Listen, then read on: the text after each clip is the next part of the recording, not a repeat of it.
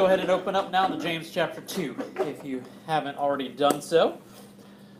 And uh, by way of review, let's kind of get into uh, maybe some random trivia real quick, man. Who's who are we talking about here? What's this epistle all about so far? Who's who's our author? Who's our author? Who are we talking about? Or who is our author and who are we talking about and what are we talking about? What do you guys got for us? James, the brother of Christ. Good, James. Right? The half brother of Jesus himself. Uh, Paul, remember, calls him a pillar in the in the early church. He was a pillar in that church in Jerusalem, in the early church, and a leader of the church at that time.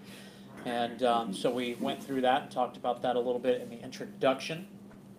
Uh, it may be, uh, depending on timeline, James could be uh, and is believed to be perhaps the earliest writing of the New Testament. So it could be the first epistle written in the New Testament. Um, but anyways, if you want more info on that, you can go back to the introduction from a, a, a few few weeks back when we started. Uh, but as we got into chapters one, we've gotten into chapter two last week. Uh, what are some of the things? What are some of the take home? What's some of the stuff we're talking about? Um, remember that. Favoritism, Sorry, go ahead. Who's that, Jim? yeah, favoritism or, you know, respect of person or no respect or, Okay, good. Yeah, that was uh, last week, chapter two, right? So James is a different kind of epistle in the sense of it's not like Paul's letters where uh, he writes, you know, specific instruction to a specific church um, or churches in a, in a certain region or specific church or people at a specific church.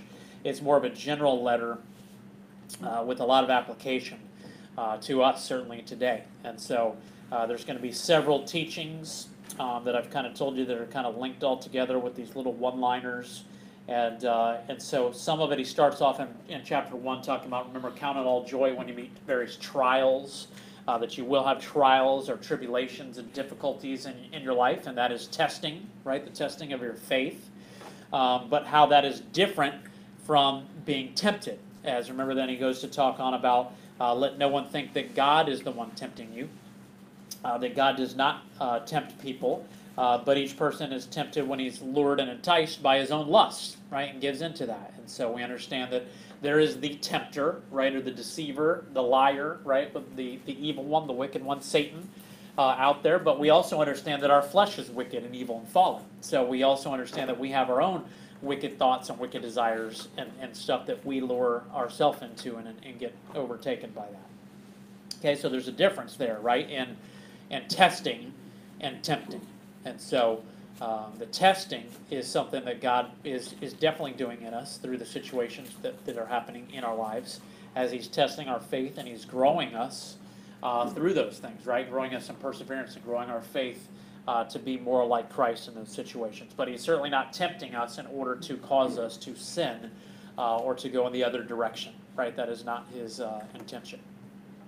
So then Jim brings up uh, what we got into a little bit last week, going into chapter 2. As we look at the end of chapter 1, you see, uh, look at verse 19. We see, be quick to hear, slow to speak, and slow to anger, right? As he says, to be not just hearers of the word, but doers of the word. And so, somebody tell us maybe uh, what is the difference in that, and how do we become one or the other, and, and can we become one or the other? How does that all work?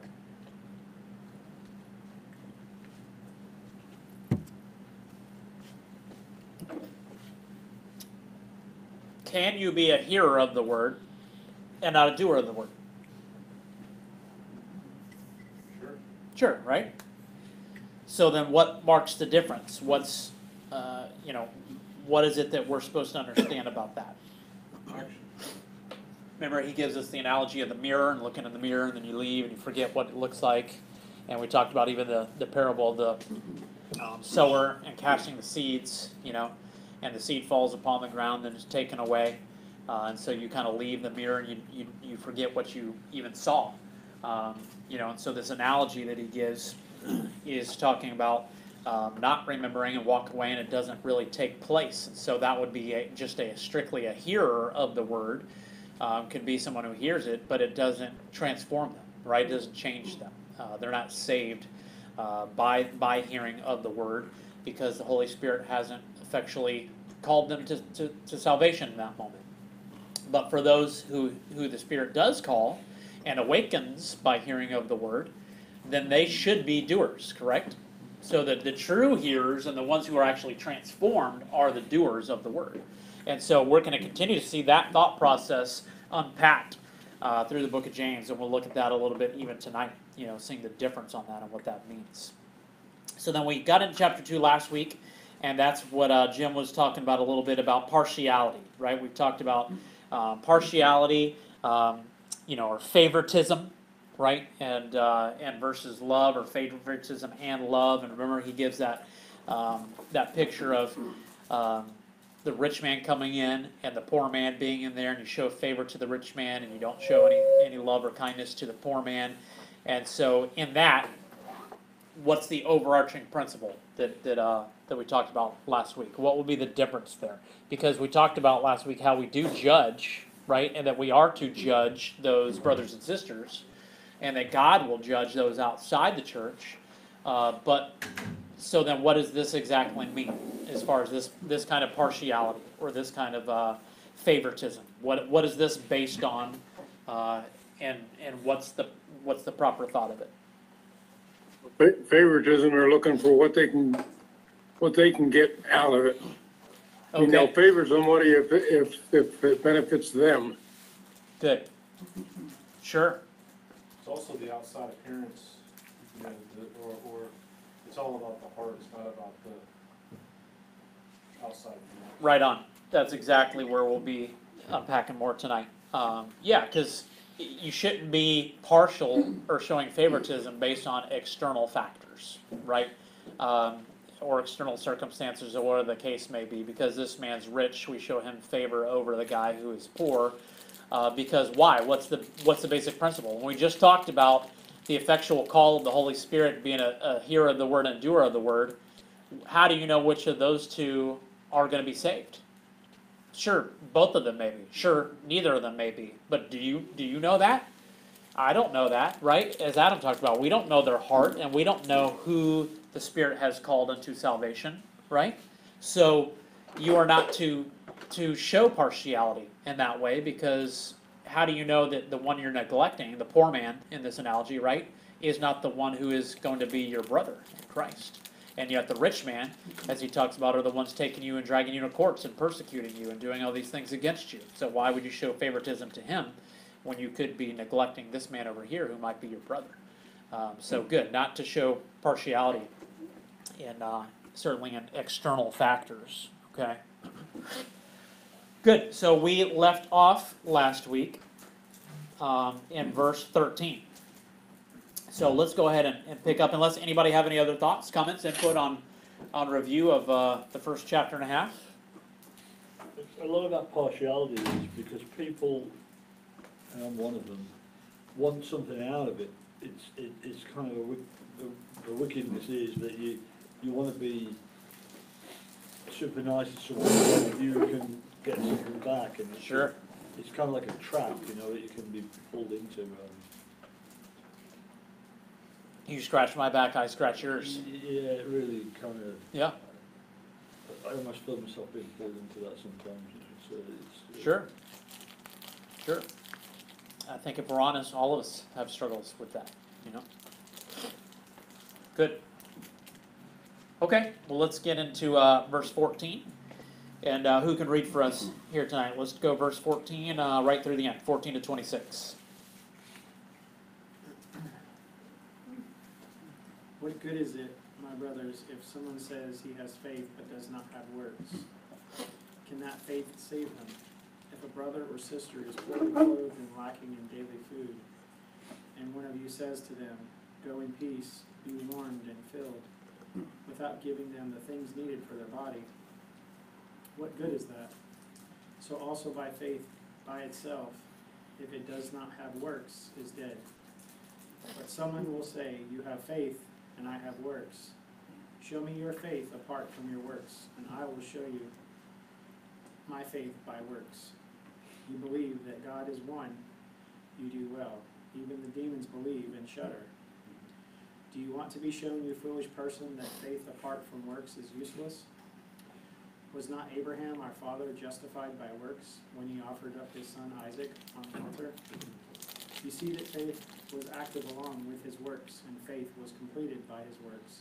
And the scripture has fulfilled that, says, Abraham believed God, and it was counted to him as righteousness, and he was called a friend of God. Hmm.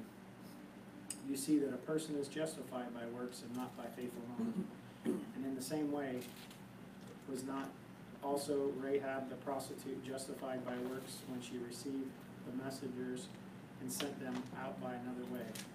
For as the body apart from the spirit is dead, so also faith apart from works is dead. Amen.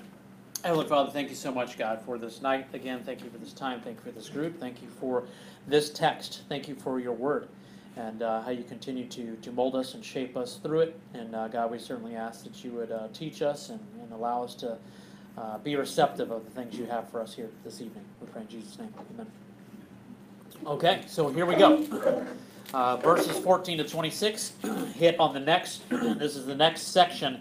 Uh, remember, I kind of told you how um, we're going to see really 12, uh, you know, applicable brief teachings through the rest of this book. When you get into James 2 through 5, uh, we're going to see these 12 teachings. Um, and the first one we already reviewed was from last week, the first 13 verses there on partiality, right, or on favoritism. Which, if you look, he wraps it up with this w- little one liner at the end of verse 13 that says, Mercy triumphs over judgment. okay, so you're going to see uh, he's, he's quick witted. He's got these little one liners that seem to be pretty cool and, and kind of this thread of going through these teachings uh, that I've seen thus far. It's pretty cool. So now we're going to see a new teaching here uh, on what genuine faith looks like. Okay, so that's our header for tonight. Genuine faith. That's what we're talking about. He gets right to the heart of the matter here in verse 14. Because essentially, he's asking the question here, you guys what kind of faith is saving faith? Right? What kind of faith is, uh, we could say, true faith, right? Real faith. Uh, true faith is only faith that saves, which is only faith in Jesus Christ, uh, right? As, as Lord and Savior, in the gospel of Jesus Christ. Uh, it- do people have faith in other things? Yeah, right? We have faith in all kinds of things. Uh, you have faith right now that that seat you're sitting in is going to hold the weight and not drop your butt right to the ground, right? Uh, but we certainly know that there are people and across this broad spectrum, you know, of, of religious, you know, beliefs and, and systems, and, and so they would have faith in in what they believe, and, and maybe it's the Quran, or maybe it's uh, you know the sacraments uh, of the Catholic Church, or whatever it is. Um, you know, you can go right down the line and say even um, agnostics and atheistics, right? I mean, they have to have faith in something. You you believe in the Big Bang, you believe in evolution, like you have faith in these things, and you're believing those things. Okay, so what is uh, you know this genuine faith? What what is this? What kind of faith is this saving faith? Okay, and he's going to give us an illustration, kind of like last week, right? We just talked about the illustration of the rich man and the poor man, and he gives kind of a picture of this. Well, here's our illustration for this week, verse 15 to 16. It says, If a brother or sister is poorly clothed and lacking in daily food, and one of you says to them, Go in peace, be warmed and filled, without giving them the things they need for the body, what good is that? Okay, so go in peace, be warmed, and then you do nothing to address their immediate situation, right? Their immediate need. There's a need here that you see, and yet you do nothing about it. You say, "Oh, I'll pray for you, brother," you know, as you kind of pass by. Um, you know, maybe maybe you have something that can be helpful to them, and uh, and you don't act upon that, and that's certainly going to be a weighty thought in this discussion. You know, the actions, right? Um, we we've heard certainly many times, uh, actions speak louder than words, right? Excuse me, and so the acting upon these things, not just using lip service, right? Not just saying something. Uh, anyone can say something uh, nice and kind and say, "Yeah, I'll pray for you in that." Uh, I find myself even saying, "You ever find yourself saying like, telling somebody, "Yeah, I'm going to pray for you," and then you totally forget to pray for them? It's just like something that you say. Um, so as they're passing here, they're not they're not helping. They're not they're not meeting any kind of uh, need that this person may have. Okay, so right here, uh, James introduces us to the importance of uh, what what primarily we probably think about as we got into this this study. Uh, and I remember I asked a question on week one, and that was probably the, the biggest answer was uh, the thoughts of James, or what do you know about the book of James? And it's this relationship between faith and works. Uh, that's generally what most people think about when they think of the book of James. Okay, so this was a big deal when you think about context, faith and works, tradition, ritual, right? This was a big deal in the early church because, as we talked about, James was a pillar in the early church to who? The Jews or the Gentiles, primarily? To the Jews, okay? Um, along with Peter and others who were primarily to the Jews and certainly to the Gentiles as well. But we know that Paul's mission was to go primarily to the Gentiles as the Lord was making that shift and that transition there from the Jew to the, to the Gentile. Uh, but this was a big deal in this time. Um, so the context is remember these Jews who are coming out of the Old Testament system, right? And the tradition of the, the, the uh, elders, right? The traditions that the, that the nation of Israel had and of all the sacrificial systems and all those things, and a strict adherence to the law, right? They're all about the law, the law of Moses, the law of Moses, circumcision, all the things that were in the law is, is what it was all about to the Jew, correct? So you understand the issues. We talked about this through some of Paul's letters. You can understand the issue that Paul's having even when he's talking to a group and, and he's talking to a church who has Gentiles and Jews, and he's saying to the Gentiles, hey, you got to understand what the Jews are dealing with. And with the Jews, hey, you got to understand what the Gentiles are not dealing with. The Gentiles don't have all the baggage that the Jews have of this Old Testament stuff. Are you with me? The Jews have the baggage of this, and so they have this strict adherence to the law and all the things that, that come along with the Old Testament system. So they would generally focus on those things rather than on the heart change that's taken place. Uh, does it mean that the, the heart change hadn't happened to them? No, certainly. But, but if you can understand the picture I'm trying to paint that maybe I'm not articulating well, think of your whole life you're doing it this way. And this is how it's been taught to you. You've been trained in it. And now it's changed, and it's not really changed, but it's been revealed, right? I guess would be a better a better word to use because now it's being revealed to you that hey, all the things that we did and that our forefathers did, it was all just imagery pointing to the Messiah, and pointing to Jesus. He is the sacrifice, so we no longer have to sacrifice. He is our high priest. We no longer need a high priest. Uh, He is this. He is this. We are the temple of God. We no longer need a temple to go to worship and meet with God. All, all the things, you see all the stuff they have to unpack, right? So they've got a lot of, lot of baggage that comes along with them. And so you can understand that this would be a significant problem uh, for, for them, okay, and, in dealing with this and sorting through this stuff. But as we say that, we also know that the New Testament clearly teaches salvation is, or justification is not by works, correct? I think we're all in this room on the same page with that.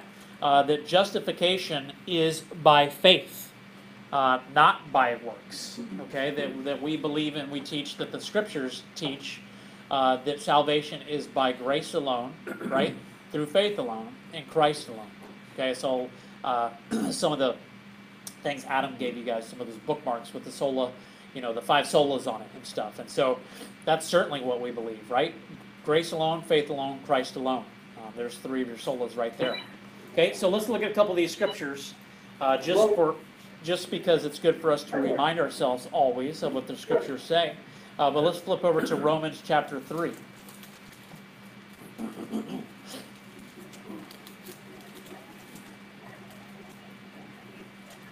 Who's got that? Can read it for us. Romans 3:28.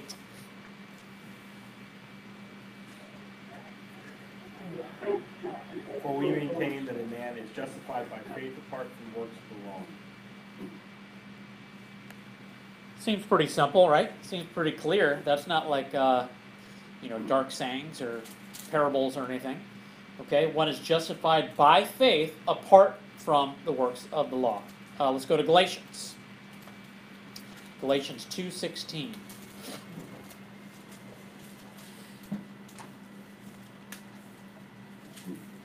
Somebody else can get that one? Galatians two sixteen. Yet we know that a person is not justified by works of the law, but through faith in Jesus Christ. So we also have believed in Christ Jesus, in order to be justified by faith in Christ, and, and not by works of the law. Because by works of the law, no one will be justified. That seems pretty clear. Yeah? Okay, and both of these are, who wrote Romans? Paul. Who wrote Galatians? Paul. Okay, so, but who wrote Titus? Titus, nice I got them all for a second going, is this a trick question? Yeah, good, so let's see what he says again, let's get the third one here. And certainly we can go to Romans, uh, five, we can go to many other places, you guys, to, to certainly see this principle in the scriptures. These are just three that I, um, you know, looked at in studying just to say, these three are pretty, pretty obvious and pretty clear. Titus three, eight. Can somebody get that? The saying is trustworthy, and I want you to insist on these things, so that those who have believed in God may be careful to devote themselves to good works. These things are excellent and profitable for people. Yeah, that's not the one I'm looking for. No. Great verse. Good job. Thank you. That, that is three eight yeah, no, it is three eight. I must have wrote something wrong there. I'm not going to spend too much time looking for it. We'll go with the other two. Um, the idea is, and the principle here is, that uh, clearly Paul is stating and teaching in the New Testament that salvation or, or justification, understand what that means, right? Justification, what does that mean? What is justification or being justified?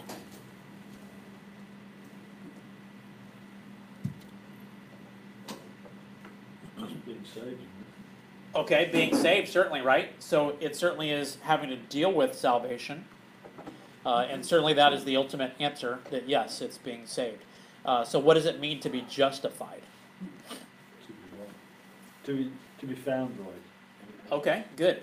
Good. To be found right. Um, remember, we even talked about how uh, we must be righteous. Okay, so justified, if you remember it, um, I remember when I was a young believer and just thinking uh, the pastor was so witty as he said, uh, justified means just as if I'd never sinned. So that's what justified means. Um, it's, you know, remember that, that the scriptures tell us that we are declared righteous by God if we are in Christ. Because we are not righteous, right? There's no righteousness in us. uh, but in that, uh, in that great switch, excuse me, and, um, you know, that, that Jesus died on the cross, he paid for our sins, right? And it says that's the imp- imputation, which we're going to talk about here.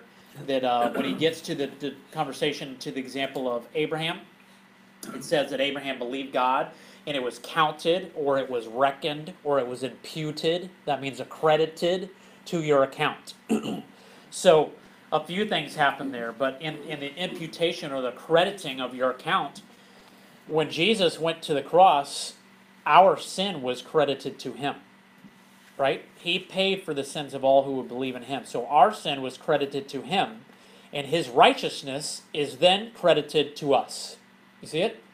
So that's what it means to be declared righteous. You're declared righteous because of Christ Jesus. 2 Corinthians 5:21. Uh, he made him to become sin who knew no sin that we might become the righteousness of God. Okay? So when he took on our sin, he, he has declared us righteous. And so God sees us as righteous because he sees Christ Jesus in us. Okay, so justification, all this to say, justification, salvation, it is certainly by faith and not by works. Uh, think of Ephesians 2 8 and 9, right? That uh, it is by grace, right? It is by faith that you are saved. Uh, it is a gift of God, not of yourselves, right? It is a gift, is what it says. It is by God's grace that we are saved. Yes, sir. I think you're looking for three five. Thank He you. saved us not on the basis of things which we have done in righteousness, but according to his mercy by the washing of regeneration Thank you. Good. That sounds correct. Three five. Yeah, thank you. I know I you. knew what you were looking Yeah, it had to be there somewhere. Thank you, sir. So, when we go back now to James, let's get back to our text. We see this is what James is teaching here. Okay, it's certainly going to sound as we move forward like he is standing on, on works being a part of it, but you know we have to see the, the big picture, and we will see it as we continue to unpack it. Uh, that James is in harmony excuse me, with, with Paul's teachings here in regards to justification by faith. And again, we should understand that it makes sense that both these men teach what they were taught, right? Because who were they taught by? By the Lord Himself, right? So, guess where we need to go? Let's go see what the Lord said. Let's go to Matthew chapter 7. And it seems like every week we're going back here. Remember, I told you so many parallels with, with what do we call this? Matthew's chapter 5, 6, and 7. What do, what do we refer, refer to that as? Good, Sermon on the Mount. Okay, so back to the Sermon on the Mount. We've got Matthew 7. If someone will read uh, 21 to 27.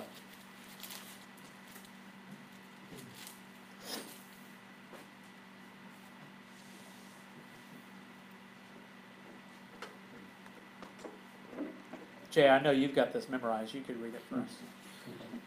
Not everyone who says to me, Lord, Lord, shall enter the kingdom of heaven, but he who does the will of my Father in heaven. Many will say to me in that day, Lord, Lord, have we not prophesied in your name, cast out demons in your name, and done many wonders in your name? And then I will declare to them, I never knew you. Depart from me, you who practice lawlessness. Uh, keep going to 27. Therefore, whoever hears these sayings of mine and does them, I will liken him to a wise man who built his house on the rock.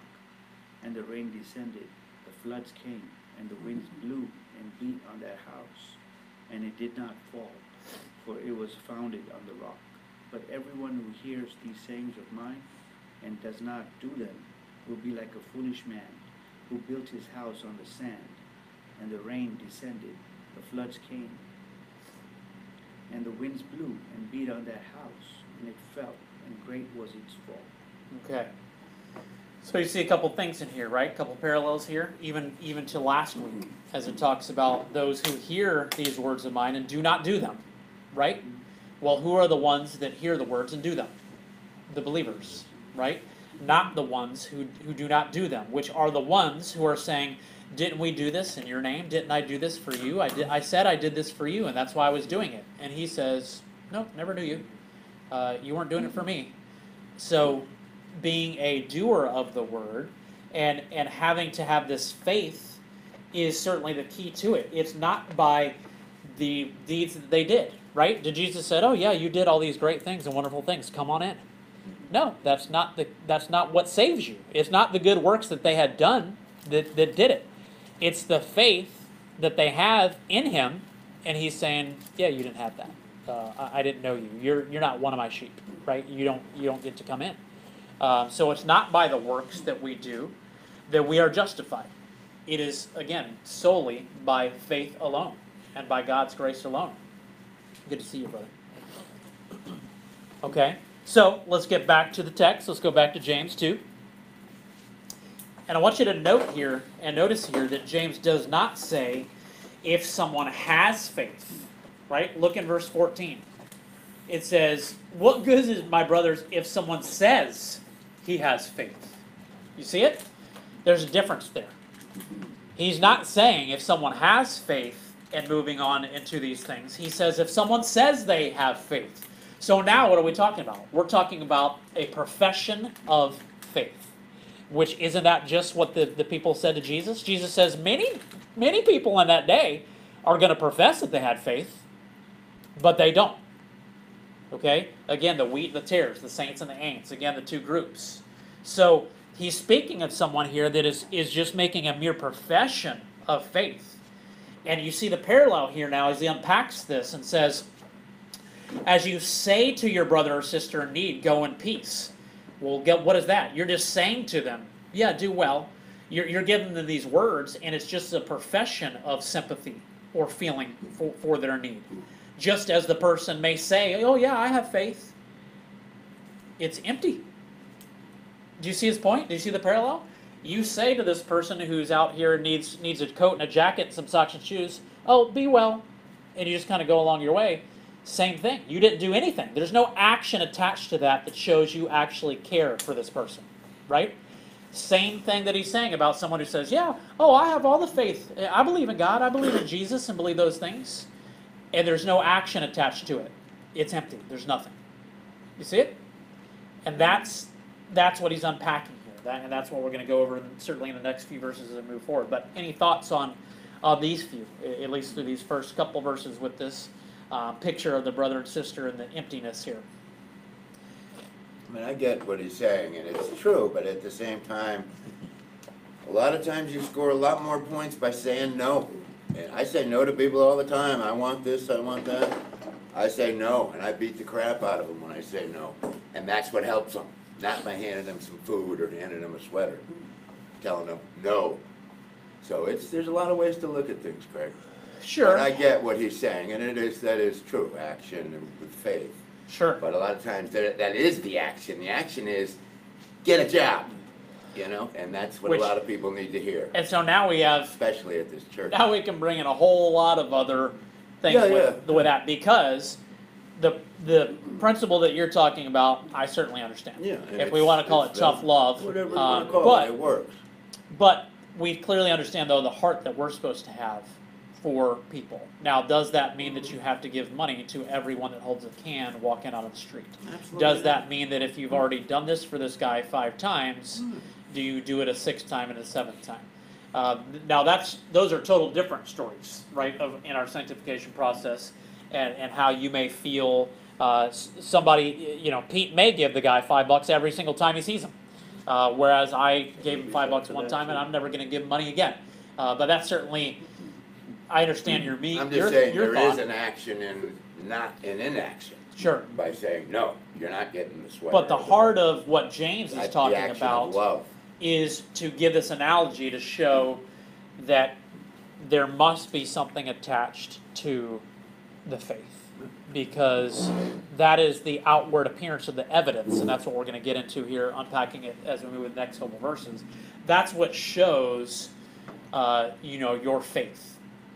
That's Jay. Yes, so you have somebody who says, professes, I am a Christian, but then when you look at their life, they don't have the works of a Christian. Good. But it, it- it's also the, the, the works being the fruit.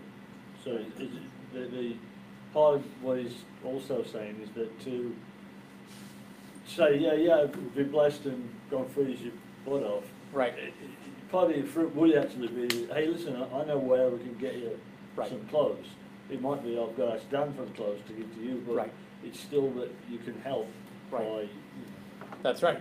And, and that's, that's the point, you know, just going to the next slide, you guys both said it well right there. I mean, that's the point. He's saying, he's saying, can such a faith save you? You know, is this a saving faith, this, this picture he's giving to them? Uh, would this be a, a, a real true faith here? Um, this, this faith that you say that you have and this profession that you make? Um, because is it fruitful? You know, to your point. I mean, that's, God does look at the heart. We've already talked about that a couple of times. We're not able to see the heart, right? I'm not able to see the heart and the intentions of any of you or anyone else, especially if someone maybe like this, for instance, that I just met or I'm just walking across. I don't know anything about this person who's cold and, and naked on the street. But I do know that what Pete said is is very accurate. I know what the Bible says and how the Lord says to act upon that person and, and and also we could flip the switch and say, look, aren't there do you think that there are unbelievers in the world who would see that person and go get them some clothes and clothe them? Yes. yeah. There are. Yeah, yeah. So, again, here's the other side of the coin of showing the works don't save you. No. Uh, the works don't mean that you're saved. If I were to see someone help someone like that, I would think, great, you know, being compassionate and, and doing that. And would I think that maybe they are a believer? I would tend to think in my humanity that, hey, maybe this guy is a believer because believers are to respond in love in that way. uh, but it certainly doesn't mean that they are, right? But that action and that good work that he would do in this, in this picture doesn't save him, and it doesn't make him saved, okay? But James is saying, if you are saved and you don't do anything for that guy, pff, I don't know that you're saved, you know? So the fruit is a big deal for us because, again, go back to the heart. We can't see the heart. What can we see? Fruit. We can see evidence. Um, that's not why we do it, right? I, I don't try to obey God and live a Christian life so that you guys can all see my fruit, you know what I mean, to brag about or whatever. That's not what we do.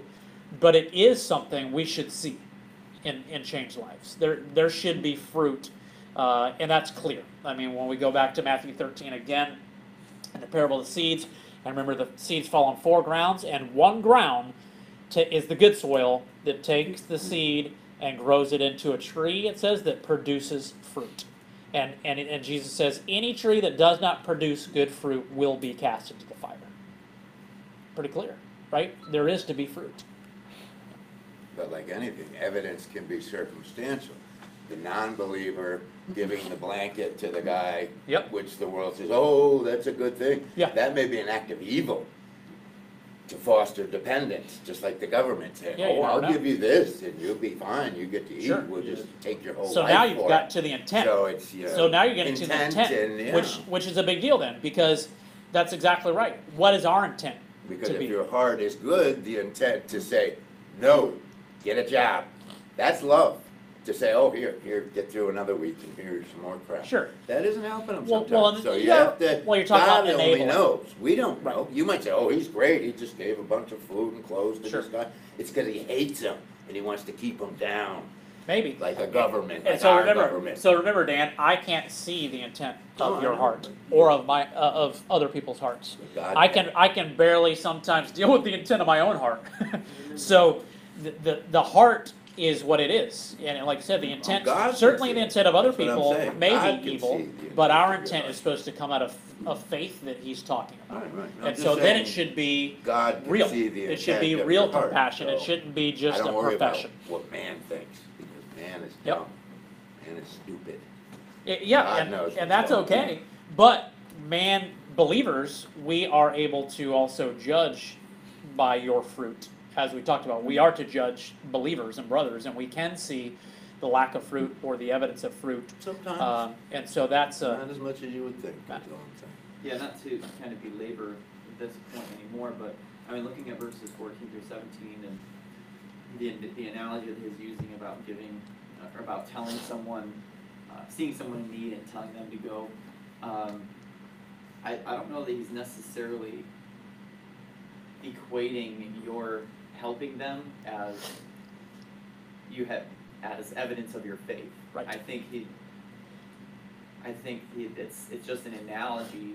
Yes. If you, if you're saying, if you tell them to go in peace and don't do anything for them, you're not, you're not doing the action. that's right.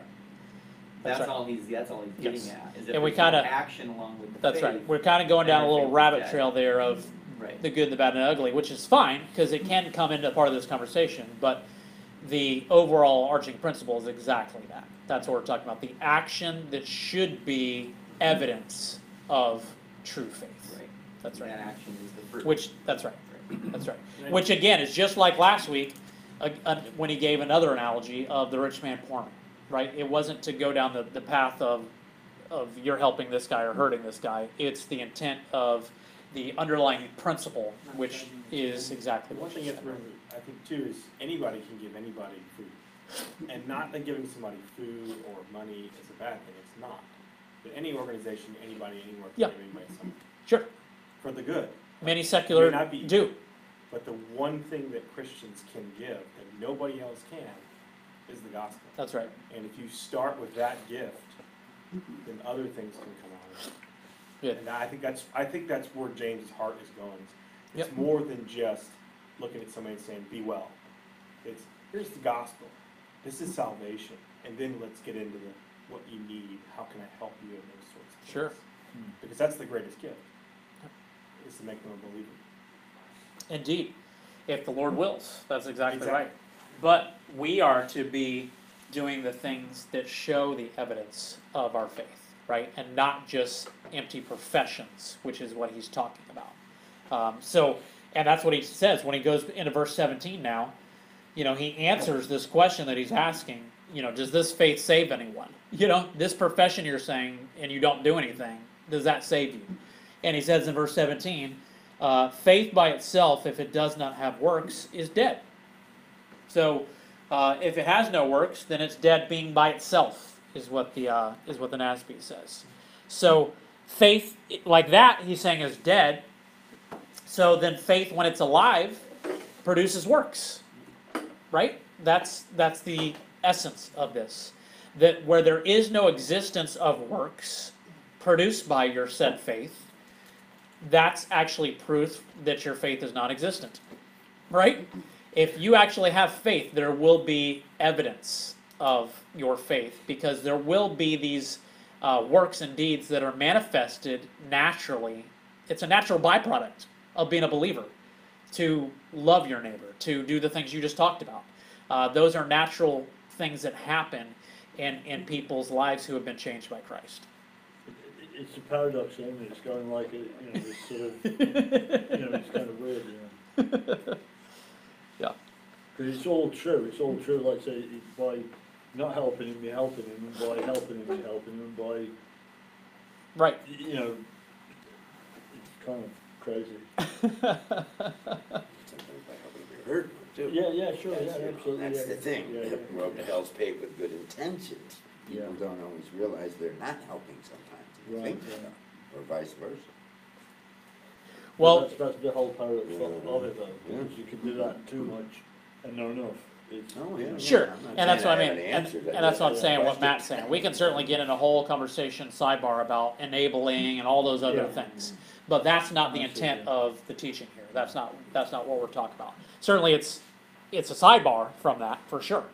Uh, but, you know, the, the attitudes, the intentions, the, the workings, the things that you're doing, um, should be evidence and coming out of that faith. Or if you're not having that, um, then it certainly is a lack of evidence that there is faith existing. Right? That there's a saving faith existing there. Okay? Uh, 18. Someone will say, You have faith and I have works. Show me your faith without the works, and I'll show you my faith by my works. I've always liked that one. I mean, that, I think that's pretty much summing up what we're talking about right now. Um, you know, that's the key here. This word show here, right? Show me your faith, right? Show me the money. show me the faith. This, excuse me, is saying, look, give evidence. Let's see this on exhibit. Let, let's see it. This, the show me means e- e- expose it to me, show it to me, let me see, um, in fact, the evidence of what you're saying.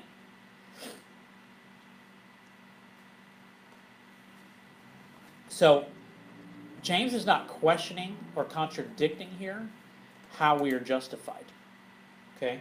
Uh, it can certainly seem that way um, to some when we get forward the next couple verses. We'll see that a little bit more too. But um, he's speaking to, um, you know, the demonstration of our faith, right? We keep talking about the evidence. Um, the demonstration of our faith or the evidence of our faith is what should be connected to it, right? This should be a connected thing. It shouldn't be separate. Um, like he's saying, someone will say to you, Well, you have faith and I have works. That they're two separate things. I do this and you do that. Um, which certainly is the case with the person who's saying that because they don't have faith, right? You, you see it? So, but if you have the faith, it's not that you don't have the works. You, you should have the both right? If you have the faith, the other one should be connected and should be there. There's there's not this disconnect um, that he's talking about. Because look over verse 24 even uh, before we get there.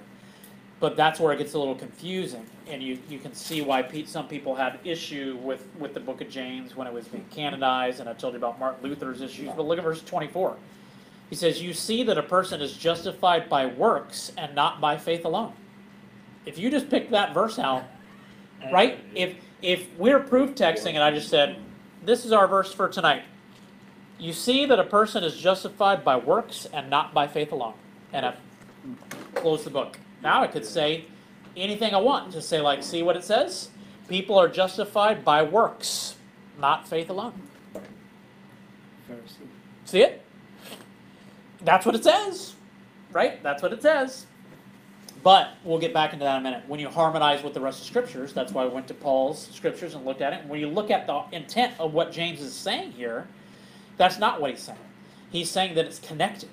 Okay? That it's it's not only by faith alone, but it is by these works because the works are proof of the faith that has justified you. It's connected. There's definitely not a disconnect. He's saying there will be this connection here, and that's why he's going to give Abraham as an example here, because he's certainly a great example to go to, okay, in the Old Testament. And remember again that his, you know, his teachings and his audiences are primarily Jewish, but, um, you know, when we get to Abraham here, we're going to see that for sure. Okay. He continues next. Where are we at? Verse 20. Verse 19. You believe that God is one, and you say you have faith, and you believe this. He says, You do well. For the demons believe, and they shudder, right? Or they tremble, is what the King James Version says.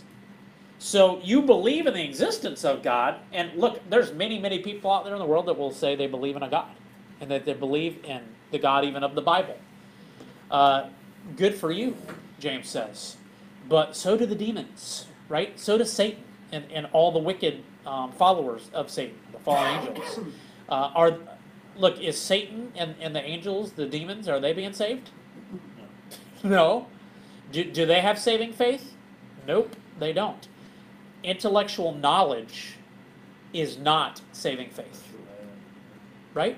Having a knowledge of something is not having faith.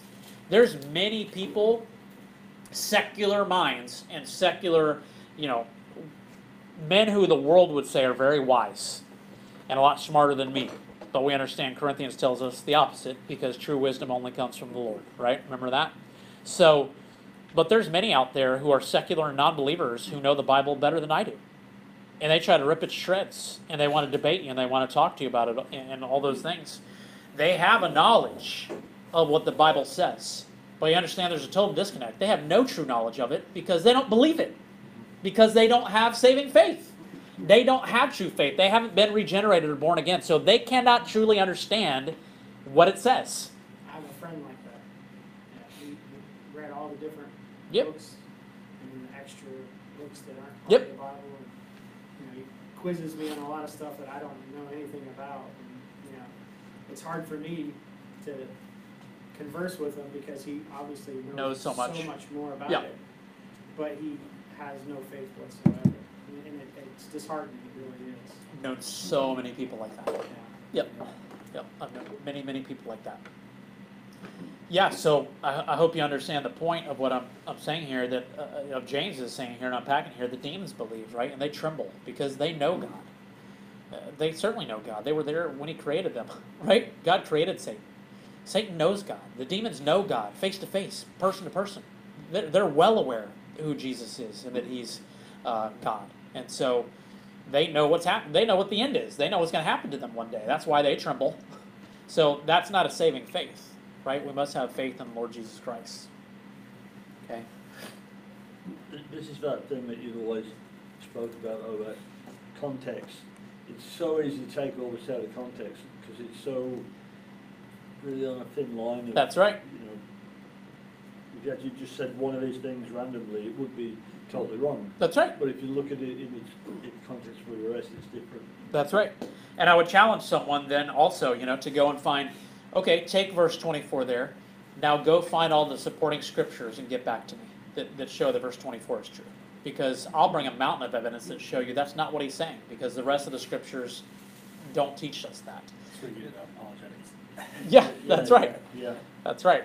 Yep. And that is apologetics, that is context, context, context. That's right. Good. Okay, so now look at verse 20. James now gives a strong rebuke here, right? Look at this. He says, uh, You foolish person, or you foolish fellow. Uh, so who is he talking to here? He's talking to the one who says he has faith. Remember, he, eh, one that says, someone that says they have faith and makes this profession that he sees as false. He says to them, uh, You foolish person, um, which is right on target, right? Because we know that anyone who is of the world is a fool because they do not know and understand spiritual things. Because remember, true wisdom only comes from God, right? Proverbs talks about uh, the fear of the Lord is the beginning of wisdom. Psalm says that as well. So Paul told us that in 1 Corinthians when we went through that study. Excuse me. that wisdom of the world is foolishness. Although they think we're the fools, right? They think that we're foolish. But we are the true wise ones. So James calls them to recognize that this faith without works is useless, right? Do you want to be shown, you foolish person, that faith without works is useless? And that's what he's saying. With, without, without the connection of the actions here and the connection of what? The fruit, then you don't have a healthy true. You don't have a true faith if you don't have these things being manifested and evident. All right, let's get into Abraham. so we got verse 21 to 23. Um, was not Abraham our father justified by works when he offered up his son Isaac on the altar? You see that faith was active long along with his works. See it? Connection. And faith was completed by his works. And the scripture was fulfilled that says, Abraham believed God, and it was counted to him as righteousness. And he was called a friend of God. How awesome is that? All who believe are friends of God. Okay? Everyone who's a believer is not only a friend of God, but a child of God. So, his point here is that, follow me, it's Genesis chapter 22 when uh, God tells Abraham to go offer up his son. In fact, he says, Your only son, even though he had another son. So he says, Offer up your only son uh, and take him up on the mountain there and, and make him as an offering.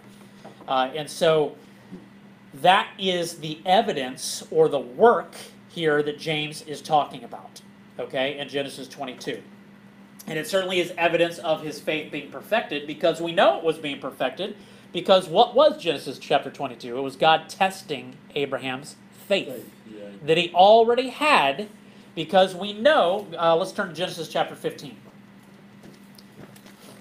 Let's go to Genesis 15. That's where uh, James is quoting from here when he says Abraham believed God. Okay, let's go to Genesis 15 and look at verse 6. Chapter 12, God calls Abram. Now in chapter 15, he makes a covenant with Abram, makes a promise to him. And look at verse 16, uh, verse 6, excuse me. It says here, he believed, or Abraham believed the Lord, and he, God, the Lord, counted it to him, Abram, as righteousness. What does that mean? That means he believed the promise of God of Genesis 3:15, the promise of the Messiah to come. And Abram believed that, and in believing that, it was reckoned or accounted or imputed to him as righteousness, just like it is to you I. How are you declared righteous? Only by faith in Jesus Christ. Did Abram know that the Messiah's name would be Jesus Christ? Well, Christ means Messiah, same thing. So certainly maybe he doesn't know the name, right? Anyone before Jesus, but they knew the promise was what? The promised one. That's what Messiah means, the anointed one, the promised one. That's what Christ means. They were looking for the Messiah, looking for the Christ, and they believed that God would send him. Do you see it? It's still by faith that God imputed righteousness to, to them. So Abraham had this faith in chapter 15, and he was tested greatly in chapter 22. And in his obedience, James is saying that is the work that is the evidence of his faith. He did that and was willing and to sacrifice his own son because of his faith in God. Uh, you can write these down for the sake of time. We're not going to go to all of them. Romans 4 3 and Galatians 3 6 uh, directly correspond or parallel this this uh, passage that James is talking about, where he says Abraham believed God and it was counted to him as righteousness. Paul says it in both those two places, the same exact thing, to show that it is by faith and not by works. I do want to turn to these. I'm going to turn to this one because I'm already there. Let me read Second Chronicles for you real quick. I'm almost there. Second Chronicles 20, verse 7.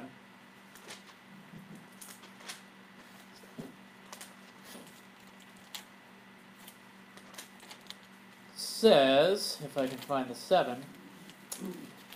Did you not, our God, drive out the inhabitants of this land before your people Israel and give it forever to the descendants of Abraham your friend? That's where he's talking about. It says that he's a friend of God. Okay? And Jesus later talks about uh, all those who believe, believers are called friends of God. But I do want you to look at Hebrews. If you're in James, it's only back a couple pages. Go back to Hebrews 11. Bugulous chapter, Hebrews 11. What's that all about? All of faith. Good, Hall of Faith. Okay, Hebrews 11. Look at verse 8. says, By faith, Abraham obeyed when he was called to go out to a place. That's talking about chapter 12, when, when God called him to leave where he is and just go where I tell you. So he was called to go out to a place that he was to receive an inheritance. And he went out not knowing where he was going. You see that? He, by faith, went, and he, by faith, went to, uh, to, to, to follow God, to obey God. Look at verse 17. So that's chapter 12. That's the first step. Now we move forward into chapter 15. Look at verse 17. By faith, Abraham, when he was what? Tested, Genesis chapter 22, offered up Isaac. And he who had received the promises was in the act of offering up his only son, of whom it was said, Through Isaac shall your offspring be named.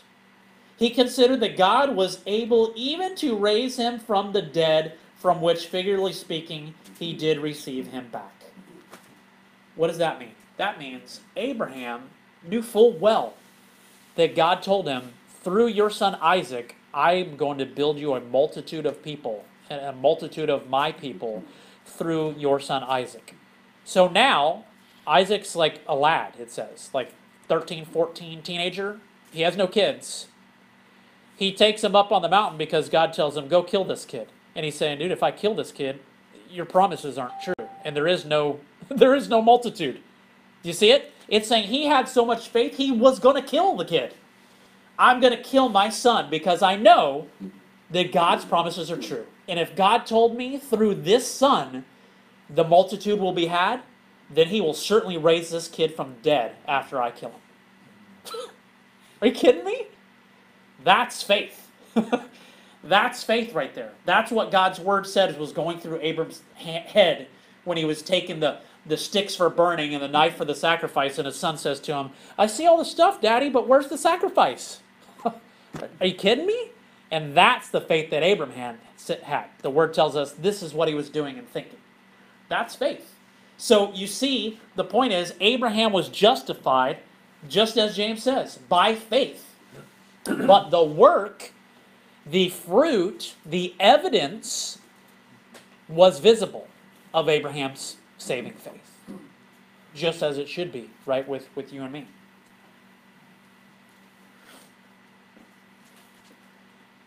Okay, verse 24. You see that a person is justified by works and not by faith alone. So we got into that a little bit, but again, he is stating that faith separated from these works is not a saving faith. That where there is true faith, there will in fact be works and good works. Aren't we called to spur one another on and to good deeds? Right? Aren't we called to do the good things and the good commands? Jesus says, If you love me, obey my commands and keep my commandments. So, again, this, this is a thing that he was battling it seems like Paul was battling that a lot. This antinomianism. Anybody know what that means? That's just a fancy word. Antinomianism means anti-law. It means against the law. So, a lot of people back in that time, and certainly still today, were so antinomianism or so anti-law against the law. They would say, "Well, the law doesn't even matter, right?" And this is what Paul says. Well, you could say the law doesn't matter, so I could just do whatever I want, right? I'm saved by grace by the Lord Jesus Christ. So the law is no good. I don't need to follow the law, right? And what does Paul say to that? Indeed, no way. He says emphatically, no, that is not the case. Because you've been saved, you've been changed, and you now want to obey God's laws and God's rules because that is the way you're supposed to live your life. So it's not the other way around. So he, he was, in fact, he would rebuke those who were living that way and say, no, that's, that's totally wrong. You, you can't do that. That's, that's not how we're supposed to be living. So that is some of the struggle that James is dealing with again with these Jews. And that's why he's unpacking this so much to say it's about the faith. It's about the faith, it's about the faith, it's about the faith. But these works will, again, be evident. Okay, so now we got a couple minutes. I'm going to go a couple minutes over, but you guys bear with me. Rahab, now we see the next example. Okay, in our last two verses.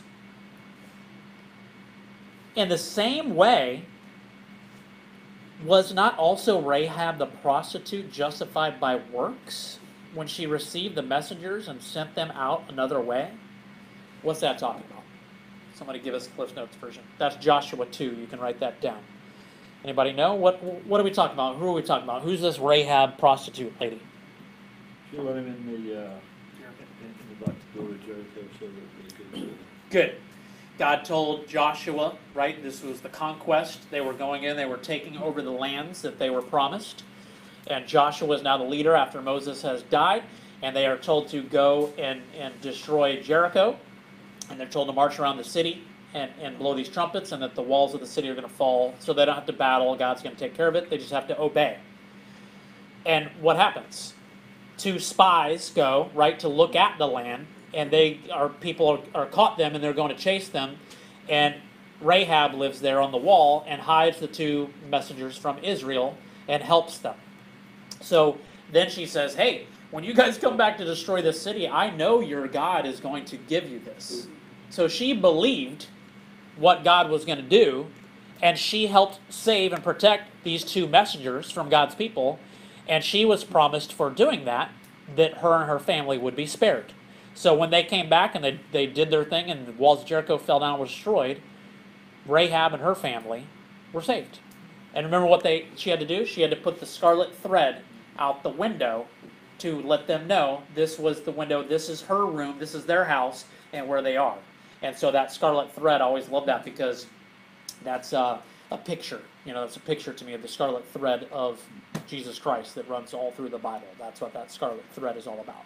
Um, so the point being, she believed God, she protected his messengers, and she was saved by by her faith, okay, in God, and she in fact becomes uh, instrumental in a huge way because just how crazy awesome the Bible is. If you go to um, Matthew chapter one, you're going to read the lineage of Christ, and you're going to see a woman in there named Rahab a prostitute, a harlot from this city they destroyed, because she was then her her her family then went and lived with the people of Israel. She married a man named Solomon, and they had a child named Boaz, who married a woman named Ruth, and then went down a couple lines. You have Obed, Jesse, then King David, whose whose line leads all the way down to Jesus. This Rahab prostitute is in the line of Jesus, and she's right in Matthew one. She, in fact, is in Hebrews eleven in the Hall of Faith one of the few women labeled in there, listed in there, because of her faith. So he's using her as an example now. Abraham, big, yeah, awesome. Woo, we love Abraham, all the Jews, right? But now he uses Rahab. The harlot says, look, she was justified by faith just the same way. And her works were, just like Abraham had his work, she was tested and her works were, she helped the messengers of God and she was instrumental in God's plan. Same thing, that there will be evidence of these things. Okay, so we'll close. We'll have a couple minutes of comments. He closes with 26, uh, again with a one liner, summing up our whole evening here that says, uh, faith without works is dead. That's kind of definitely one of the main catchphrases of James that probably most of us will remember. So, what do you guys got? Thoughts, comments, inputs? I went crazy Craig speed at the end there to get through it all, so thank you for Paul bearing with the Thank you for thing. bearing with me. Paul said the same thing about faith and works at, at, at some point. Oh, certainly. Yeah, that it should be evidence. Yeah. Yep.